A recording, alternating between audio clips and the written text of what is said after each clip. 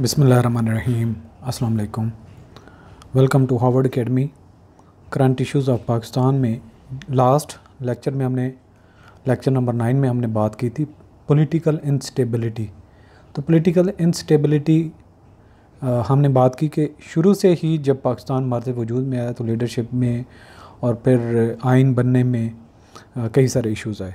तो उसमें थोड़ी सी टेक्निकली एक्सपर्टीज़ चाहिए थी जो जिन्होंने, जो फाउंडिंग फादर्स थे, जो पाकिस्तान बनाने वाले थे, उनके जो माइंड में था, उस लिहाज से और कुछ जो उलमा फैक्शन थे, उनमें थोड़ा सा तदाद इस बेस पे आया कि जब हमने पाकिस्तान को एक ऐसी स्टेट बनाया है, इतनी कुर्बानियाँ दी हैं तो ये मुसलमानों का मुल्क है, यहाँ पे सिर्फ़ मुसलमान होंगे, कोई मिनॉरिटीज़ नहीं होंगी और सिर्फ़ और सिर्फ़ इस्लामी स्टेट है तो इस्लामिक लाज के मुताबिक ही हंड्रेड परसेंट वर्क करेगी।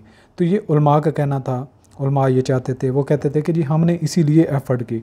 जबकि जो लिबरल साइड थी जो आ, वो वो कहते थे कि जी इस्लाम हम आ, अपनी मर्ज़ी से जितना कोई चाहता है उतना उसके मुताबिक ज़िंदगी गुजार सके और कोई उसको रोके टोके ना तो इसमें कई सारे जो आपस में जो आयन बनने में देर हुई। तो लास्ट हमने जो बात यहाँ पे ख़त्म की थी कि जब पाकिस्तान बना तो यानी कि जो इंडिपेंडेंस 1947 तक confronted with the task of framing constitution तब आइन बनाने की ज़रूरत आई। तो आइन में काफ़ी लेट आई आइन नहीं बन पा रहा था। उसमें फेडरेशन जो है यानी कि जो वफाक है वो अलग उसका आ, था। स्टैंड पॉइंट और जो फेडरेटिंग यूनिट्स थी, वो अपने अपने पॉइंट ऑफ़ व्यू उससे एग्री नहीं कर रही थी। तो ये जो federating units certain features of the countries geography population distance of 1000 miles between West and East Pakistan जब उसकी, उस वक्त बात करें एंड एथनीसिटी रिस्पेक्टिवली तो एथनीसिटी डिफरेंट थी, यानी कि बंगाल था, पाकिस्तान था, और इनके दरमियान में एक हज़ार माइल का डिस्टेंस था, दोनों में बहुत ज़्यादा फ़र्क भी था। एक कल्चर का ट्रेडिशंस का, बोलचाल का रहन सहन का। Which have no parallel in any country यानी कि वो किसी भी मुल्क में देखें तो ऐसा कोई मामला नहीं है कि एक मुल्क का हिस्सा इतना दूर है, दूसरा हिस्सा इतना दूर है। Had made the task even more difficult तो ये मुश्किल आ गई। A final draft was accepted in September 1945 at which the head of the state governor general Ghulam Mohammad dissolve the constitution यहाँ पे ये 1945 नहीं है ये डेट डिफरेंट uh, होगी। यहाँ पे head of governor general Ghulam Mohammad कैसे आ सकते हैं? ये 1954 होगा। ठीक है जी? इसको अपनी तस्वीर कर लें। Dissolve the constitution assembly on the ground that it had lost the confidence of the people the question उन्होंने डिज़ोल्व कर दी कि जो कॉन्स्टिट्यूशन जो आइन साज असम्बली उसको वो लोगों का अतमाद खो चुकी है तो उसको डिज़ोल्व किया जाए। The question of character of the state had made this task even more problematic कि इस स्टेट का रोल क्या होगा? कैसे ये वर्क करेगी? The vast majority of the people of Pakistan were Muslim जो ये मुल्क बना तो मगरबी पाकिस्तान में डेफिनेटली ज़्यादातर मुसलमानों का ही आ, एरिया भी था और फिर जो इस यहाँ पे नॉन मुस्लिम थे काफ़ी सारे माइग्रेट कर गए। इंडियन साइड पे और जो इंडिया वाली साइड के कई सारे मुसलमान यहाँ पे माइग्रेट करके आ गए।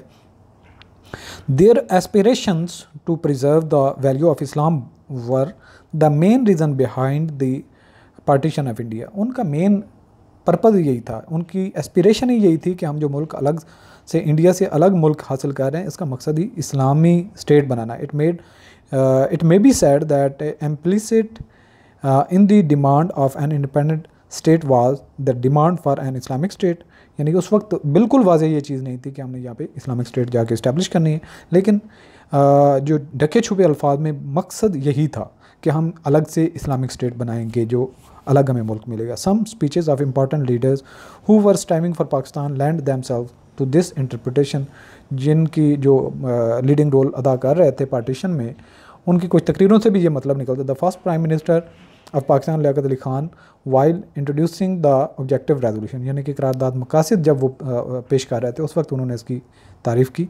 In the constitution assembly stated उन्होंने ये बयान दिया Pakistan was founded because Muslims of the subcontinent wanted to build up their lives in accordance with the teachings and traditions of the Islam because they wanted to demonstrate to the world that Islam provides a panacea to the uh, many diseases which have crept into the life of humanity, कि इंसानियत में कई सारी ऐसी बीमारियाँ आ चुकी हैं जिनका इलाज इस्लाम पर ज़िंदगी को चलाने से, अमल करने से मुमकिन हो सकता है।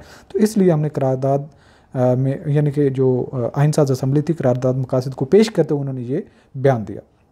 It was generally agreed that the aim should be an Islamic state ये जनरली था कि इस्लामिक स्टेट होगी। There was no agreement as to the meaning of term Islamic state यानी कि इस्लामिक स्टेट प्योरली का यहाँ पे ये कन्फ्लिक्ट हो गया। Soon conflict arose between the two factions कौन कौन से थे?